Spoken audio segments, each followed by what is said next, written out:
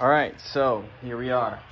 We have 5 Coyote here, and we're gonna start our planning process. So the first thing you wanna do, obviously, if you remember from the other video, there's gonna be a lot of redundant things from the other video. So if you've seen my first planning video, there are gonna be some repeats, but there we're gonna be definitely more thorough. We're gonna do some more steps and we're gonna be more detailed this time. So like I said, there'll be some repeats, but there's gonna be some new stuff too. So from that video, you know, I always start with a notebook.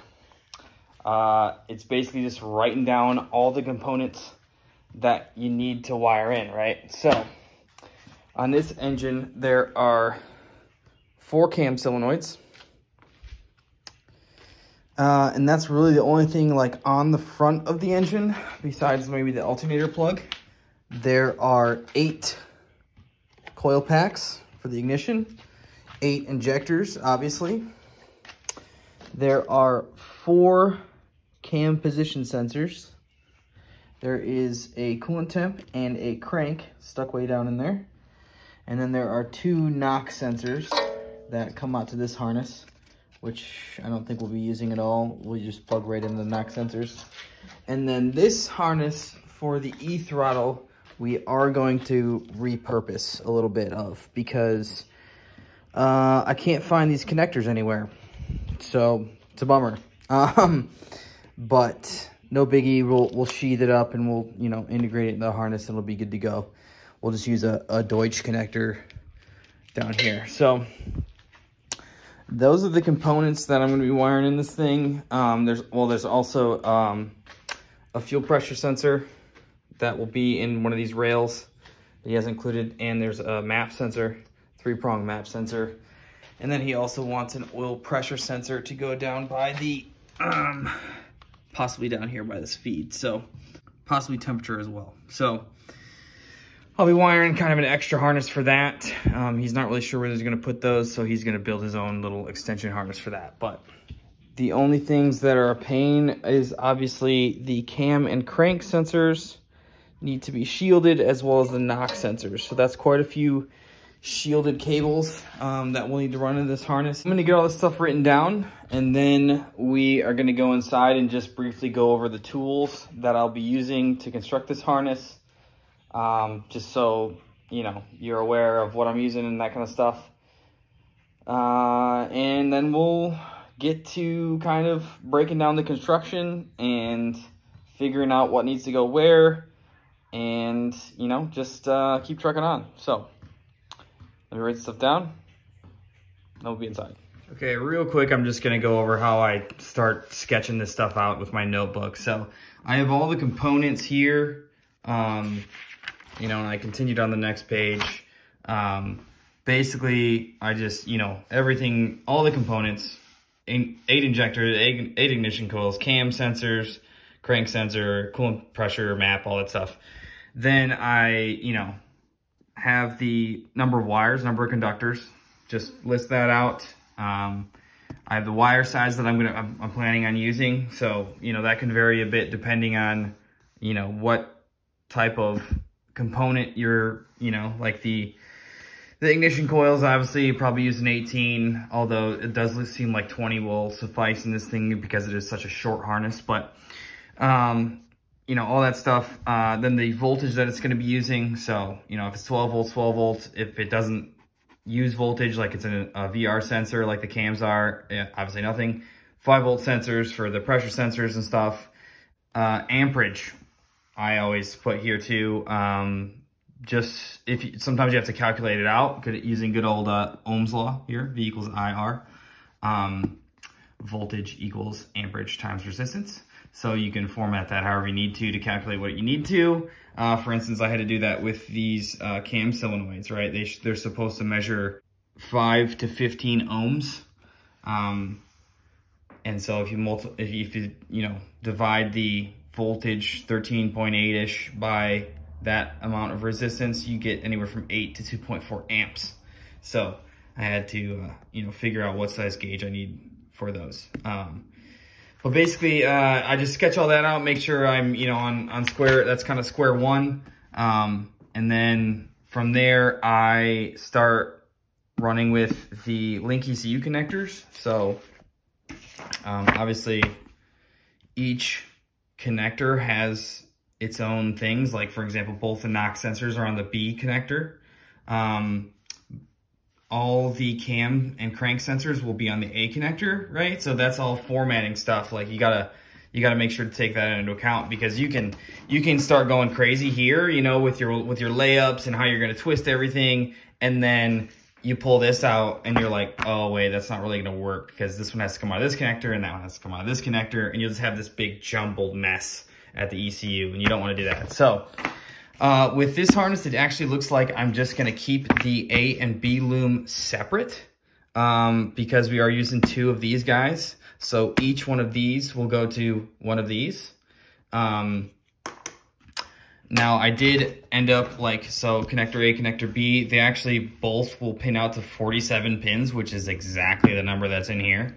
Um, I probably will end up consolidating a few of the, you know, sensor grounds and uh, those sorts of things just because, again, this is not a full motorsports harness and it just leaves room for some spare pins in emergency sake. Um, so that's the other thing that, sorry, I just like to record against this wall. I feel like it's more aesthetic. Uh, that's the other thing about building, for example, you know, if you are going to build a true sealed motorsports harness, right? Like, are they very reliable? Yes, absolutely. But stuff does happen, right? Fire, um, abrasion, right? Let's say the car is in a crash and part of the harness gets severed.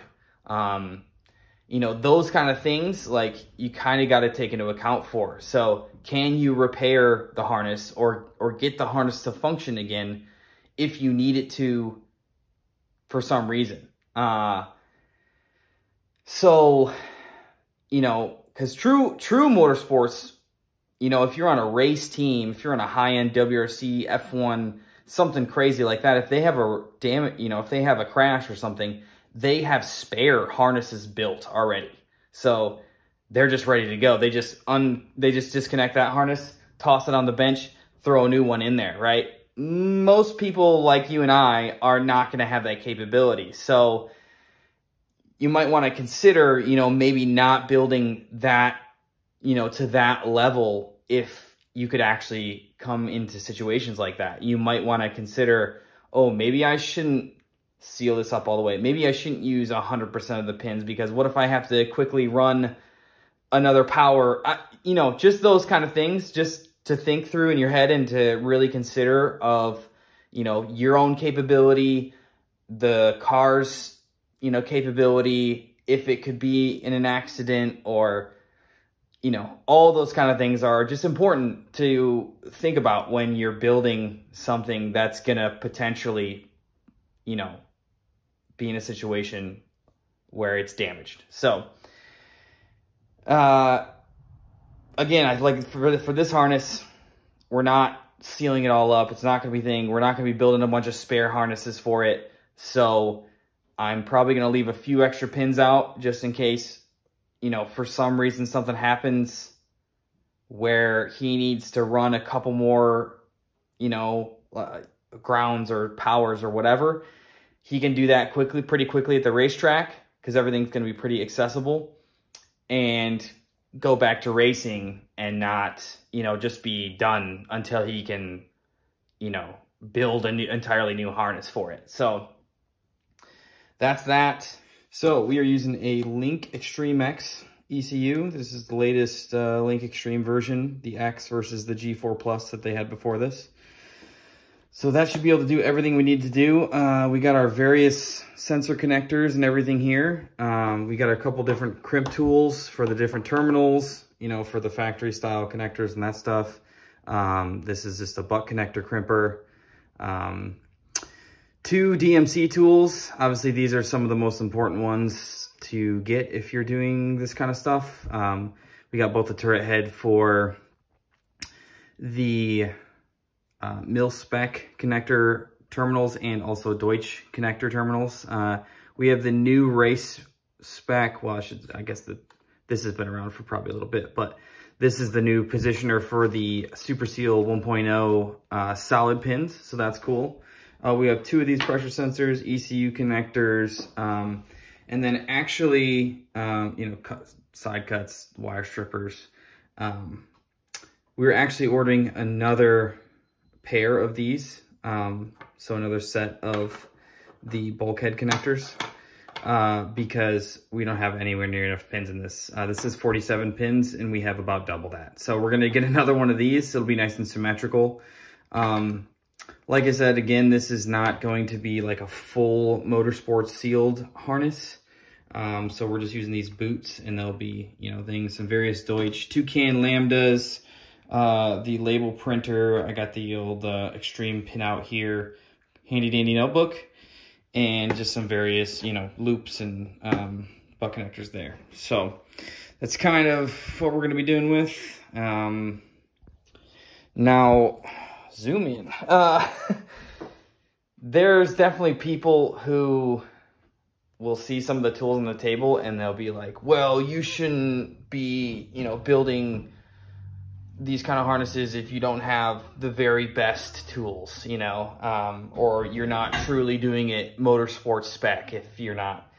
And I get it, like, there are definitely higher quality tools than I own, right? Like, there's probably better wire strippers, there's better flush cuts, you know, like, um, there's all kinds of things that you can get into. But at the end of the day, you know, with these kind of tools and buying a used uh, DMC crimper and that kind of stuff, you can do 99.5% of what, you know, a true professional motorsports wiring harness is built. In my opinion, I'm sure there's going to be somebody in the comments below, you know, that's like, oh, what, that's not true. Okay. I mean, that's fine. Like, I respect that. I get it. But, you know, if you're doing this like I am, like for yourself and maybe for a couple of your buddies or, you know, a couple projects on the side where you can explain to the person, hey, this is, you know, like a really high quality wiring harness, but it's not like at some insane level, then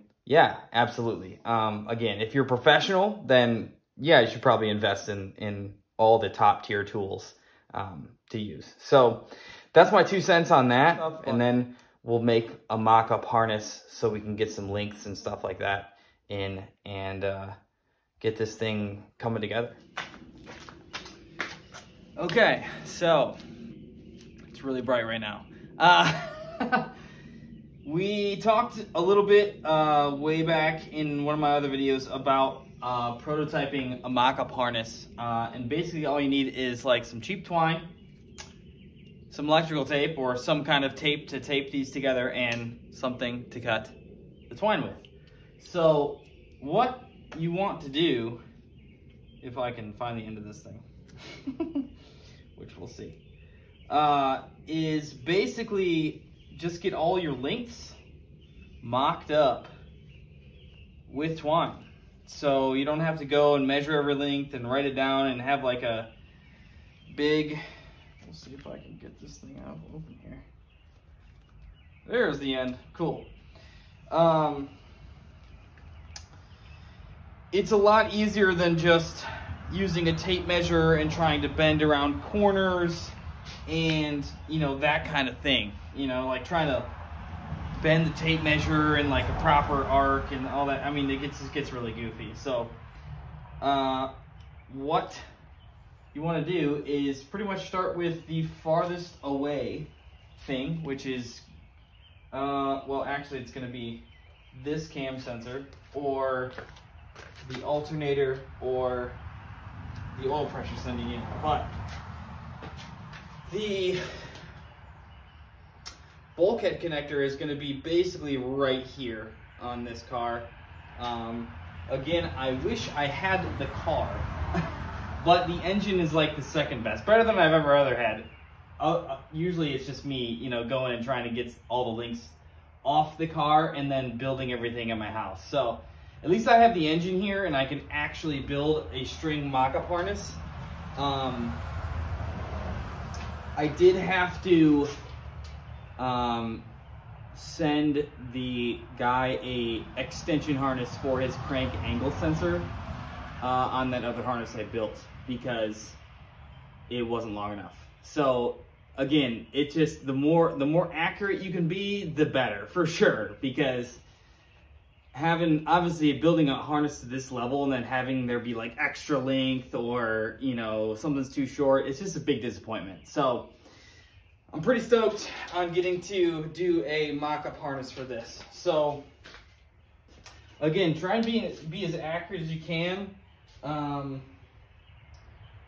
it does obviously get a little goofy because you know you don't necessarily have everything here like i don't have the exhaust manifold so uh, you know, I'm gonna have to kind of adjust my harnessing based on, you know, where what's gonna be where. But uh, essentially, I can I can still mock these up. Um, so let's get this oil pressure sensor here. A little shorter. Start with the end where I need it to be Yeah, a little extra, maybe a little extra length. There's still a couple things on this harness that aren't gonna be perfect just because I don't have the components here. Like I was saying, I don't have the old pressure sending location exactly. I'm just building a kind of mock-up for that. So, um, here, here, here, and then dunk, boom. So that is the oil pressure sensor harness. Then, we're still, of course, this is obviously bound to get tangled at some point, but if you're doing wiring, you're used to that. um, then there's also the oil temp. So there's that. That can just be pretty much exactly the same length as this, honestly We'll just cut them both there.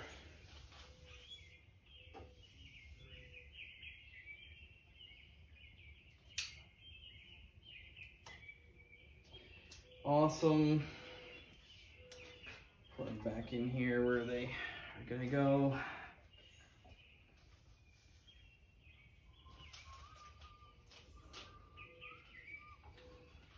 And even this is kind of tedious, guys. I mean, let's be honest, like, this is not going to be like the most entertaining video ever because I'm doing it long form, specifically because people have asked me to do it long form. So you're going to see every minute of this. just kidding. There's going to be a couple points where I just clip out some stuff, obviously. There's only so much you need to see of the same stuff, right? Um, cheese and crackers. Anyway, so we got cheese and crackers.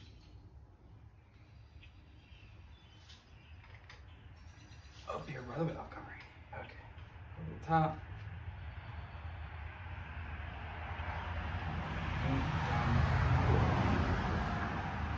Pull this through. There we are. All right, and we have the alternator. It's just a little shorter. Sorry, as I wave this knife everywhere. so that's plugging in here. Do, do, do, Luckily we can go underneath this, that's nice. Coming around with all the same ones. And I'm gonna tape these all together real quick on this end. Just so we have a consistent little nodule here.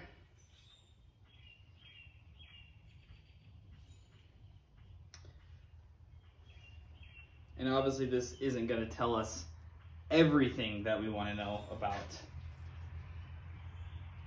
the harness because we're going to have to plan layers and all that kind of stuff. But this will get us decent, a decent idea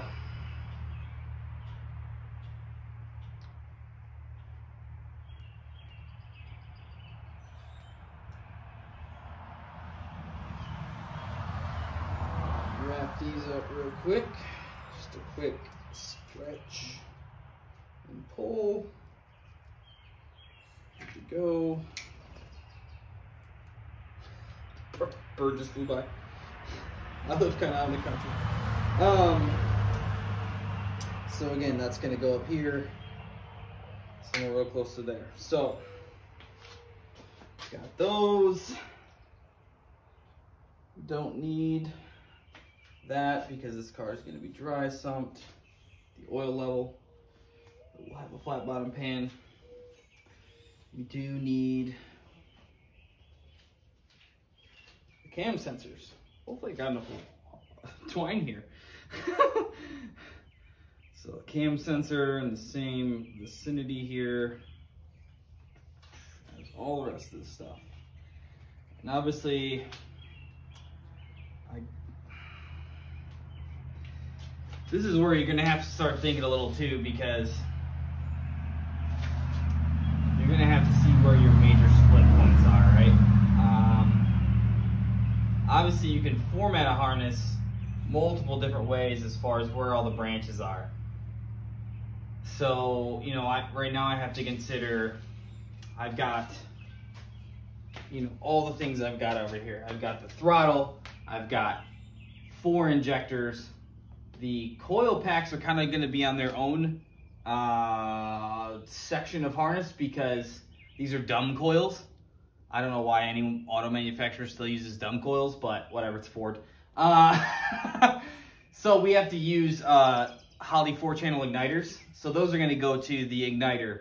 So those won't be part of the consideration, but um, you know, I've got four injectors, I've got two cam sensors, alternator, oil pressure, oil temperature, all in this section. So I've gotta, I've gotta think about where I'm gonna put that split point, where where that those branches are, are gonna come off. Do I want to do some of them in one location and some of them another? Do I want to branch them all off from the same location? Uh, you know, all that kind of stuff. So, because that will kind of dictate where your mock-up harness goes. So, I guess, you know, if you want to be extra safe, you can run everything individually to the firewall connector as far as your, your mock-up twine pieces go and then kind of just tape them all together where you want to branch them out. I guess that's probably what I'll do, is I will do an individual line to every single component, and then I will kind of figure out where I want to tape them up and, and make the branch points at, and then tape it, everything together from there so that I have, you know, an accurate representation of what the end harness is gonna be formatted like. So, we'll just Love it. Love it. Um, we'll just continue here then.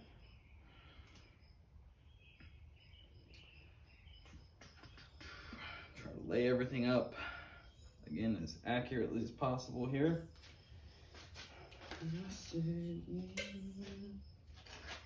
Come on now.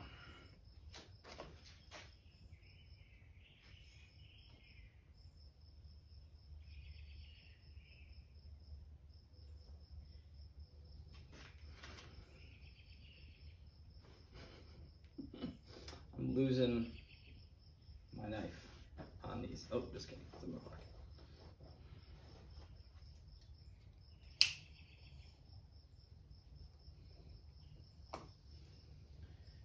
There's that. I twine to do that. So this roll, roll was like four bucks at Walmart, actually. Um, so it's cheap stuff. It's not like you're using a ton of uh, resources doing this stuff, but see, I don't, I don't think I want to branch them like right here because then this, this is very short, and I don't tend to like like really short leads like that. I'd rather have a little more room in the lead. I'll probably just do two main branches at the back of the heads that kind of split off and go to everything. Even though that gives you more like individual insulation and that kind of stuff to do, um, I think in general it's, it's cleaner. So that's what I'm leaning towards right now, but we will see. All right.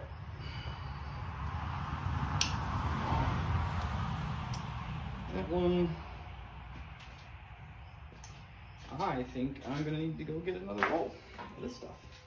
Um, like I said, coils, not necessarily, we'll build kind of a separate mock-up for that. Oh boy, that's gonna be a mess. but injectors, each individual injector. Boy,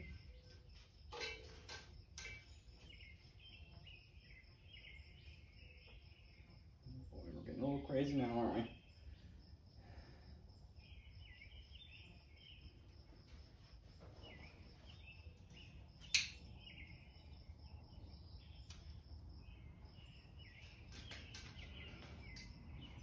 So,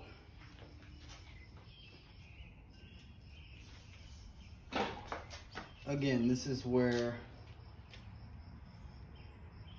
I'm probably gonna cut it off here in a second because I think you get the gist. I don't think you need to see me do every single strand here.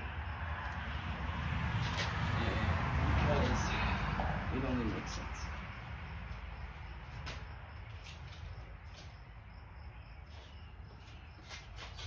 Second injector.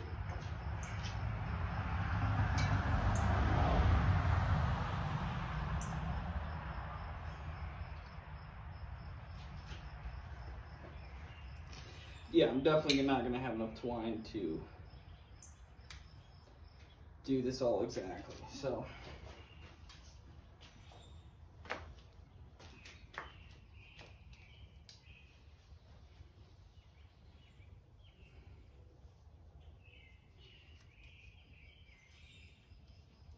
Also, I don't know if I mentioned it yet, but I'm pretty much gonna,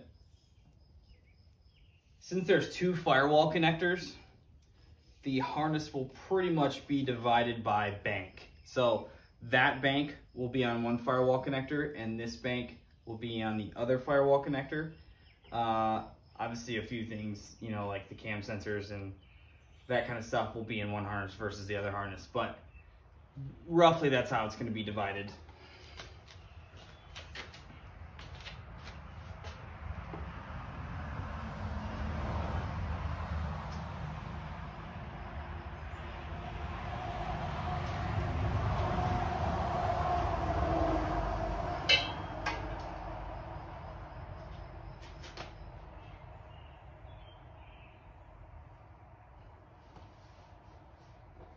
I should probably take these up again.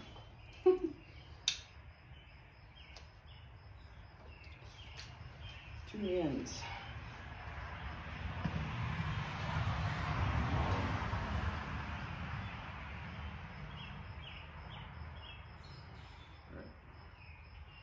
Yeah, as you can see, it starts getting a little crazy here.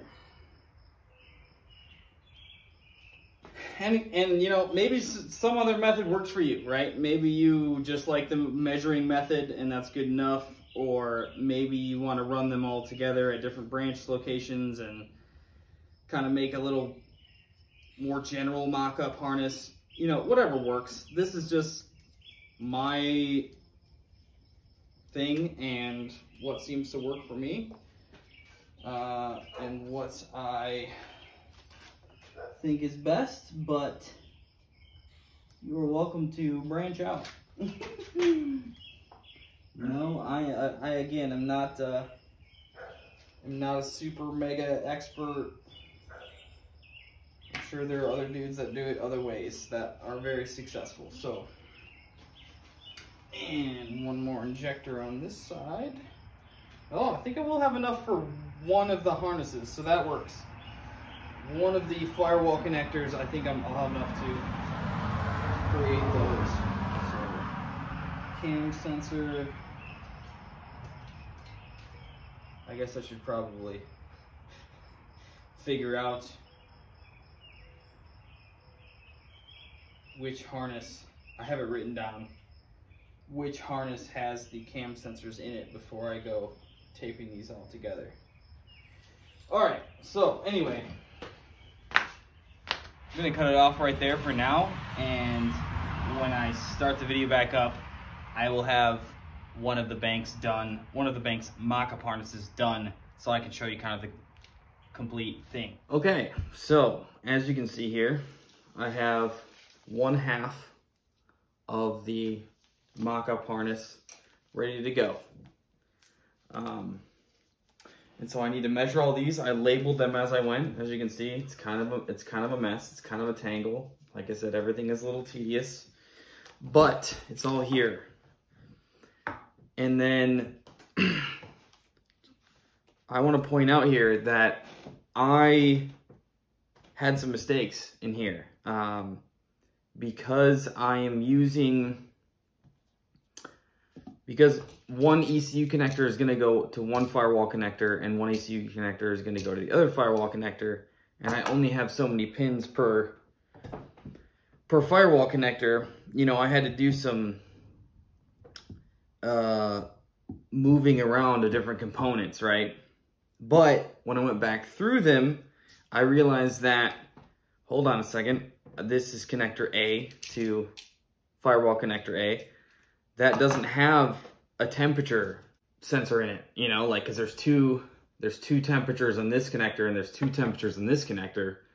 So you have to, you know, you can only do two here. Otherwise you have crossover wires and I don't want any of that stuff. So, um, just be aware of that kind of stuff. You know, build redundancies into your system. I think that's kind of like really what I'm trying to get a the general gist of a lot of these videos and a lot of stuff, a lot of the tips that I'm giving you or a lot of the things that I'm telling you is to reinforce the fact that you really need to build a system uh like a a, proce- a system of procedures to where you're always double or triple checking yourself, you know, because obviously that's what you don't want, right? That's everyone's nightmare is that they build this harness and then they're like excited and they put it in the car and you twist the key and something starts smoking or things aren't working and you're trying to like run back through and diagnose it and you know you're having all that's exactly what you're trying to avoid right by building your own harness in the first place rather than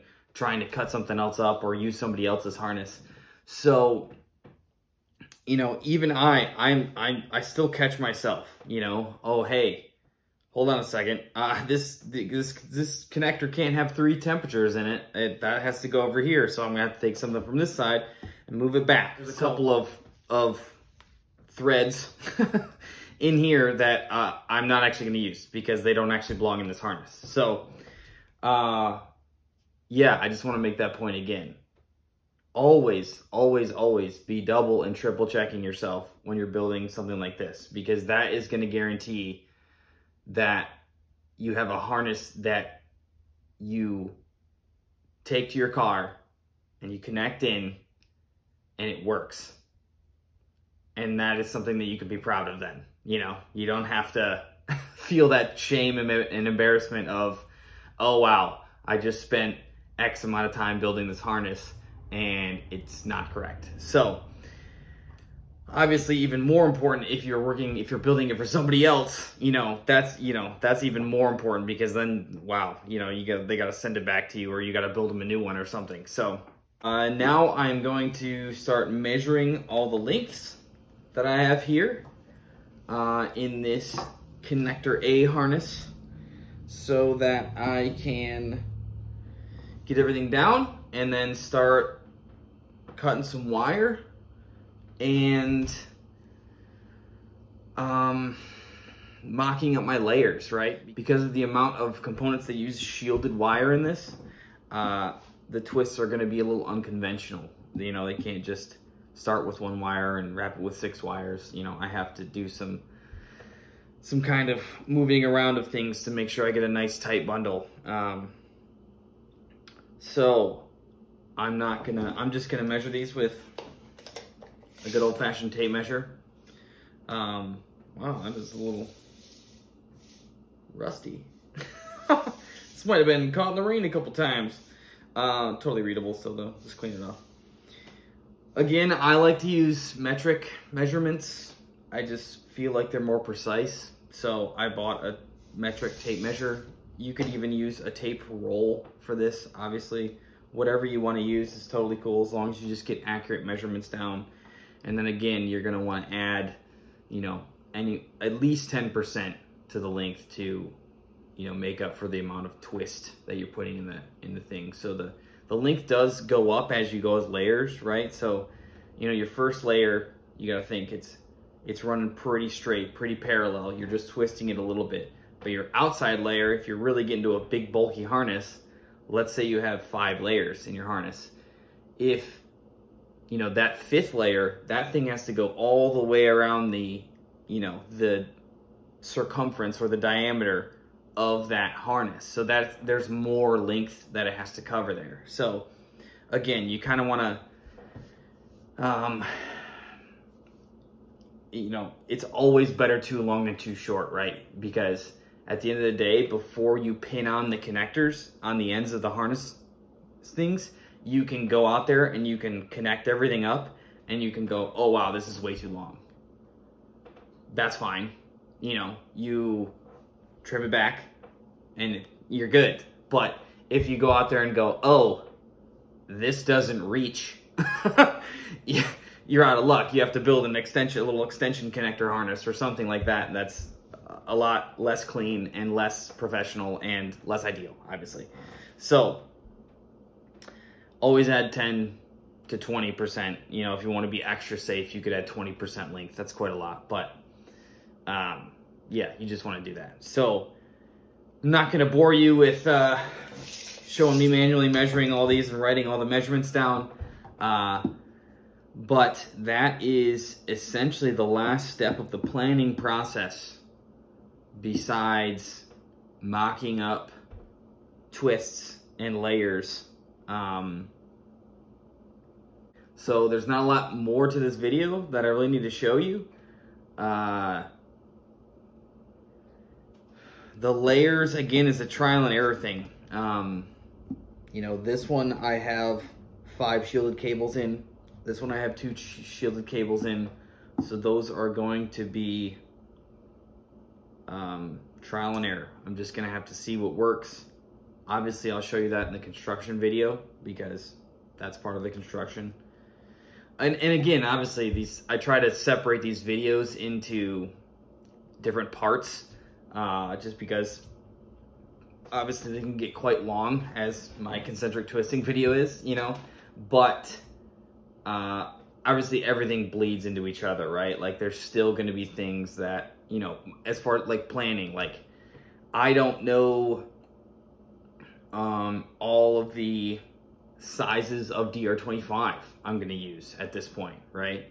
But that's not going to stop me from starting construction of the harness because for most of the harness, uh, you're doing that at the very last section. You know, you're sliding everything over the harness and heat shrinking it from there and then going out to the ends where you finally pin the connectors after you do all that.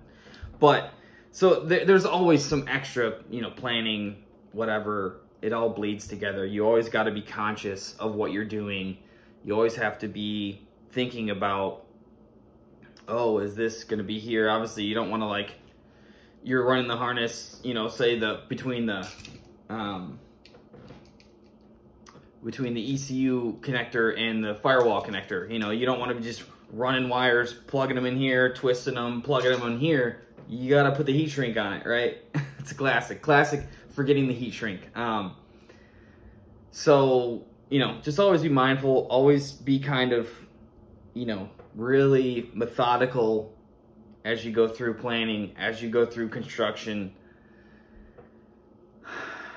uh, that I think that's the biggest thing. It's the biggest thing that's going to determine your success in building a harness of this caliber or this level because that's the thing that the professionals really have down to a T, you know. And again, like the professionals are using software and they're calculating out twist diameters and like all that kind of stuff they have a lot of there's a lot of technology that's out there that's available for you to use if you want to but at the end of the day i think you can be just as successful or you know it might take you a little longer or something but you can just you know as long as you're taking those steps to ensure that you're not getting ahead of yourself or you're not um, missing anything in the planning process, then you're going to be fine.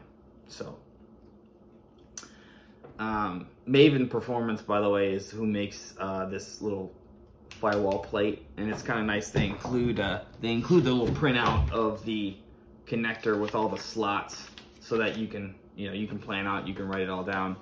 Um, I'm obviously going to transfer these all to Excel files. Um, but yeah, I'd say that's all for this video. And I will see you in the construction video next. And I hope you have a fantastic day.